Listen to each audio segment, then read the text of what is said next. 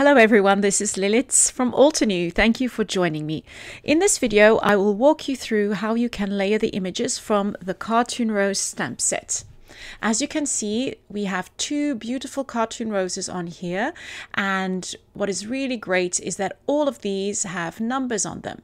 So let's start with our first flower, which is flower A. I will start with the outline, and this is going to make my stamping very easy. Now I'm going to use A2 and ink that up in pink diamond.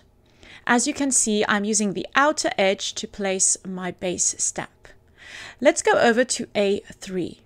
I'm going to ink this up in a very pretty pinkalicious color, which is a shade darker. And here I'm going to use the bottom part of the flower to layer up and just follow those lines, which I can see through my acrylic block. With A4, I'm going to do the same thing. I'm going to ink this up in Rubellite. And once again, I'm going to focus on that lower portion and those lines that are at the bottom. And once I'm happy with the placement, I can just press it down. If you're hesitant about the layering, you can always check out the layering guide at the back of the trifold card. Now let's go over with our last layer. This is number five, A5. And I'm going to use Rubellite, which is the darkest shade, and just ink this up. And once again, I'm going to focus on the bottom part of the flower just to layer everything up nicely.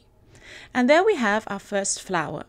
Now for our second flower, which is the largest one, it's our flower B, once again, I'm going to start by stamping the outline.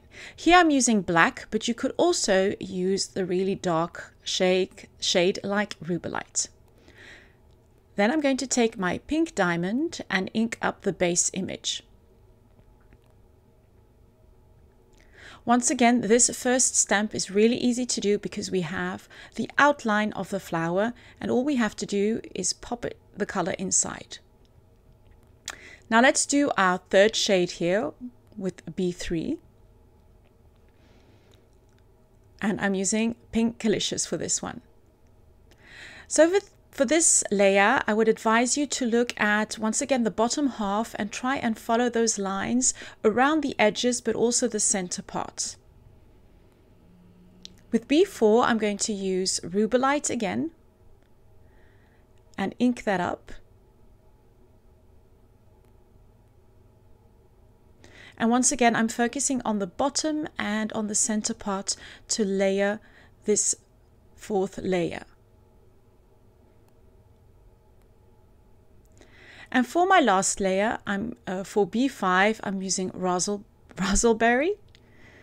Once again, just going to give that a good ink up. And then once again, for this one, I'm going to be using the bottom section where you can see that tiny separate uh, line and then the center part. This is going to give me a good idea where I have to place my layer. There we go.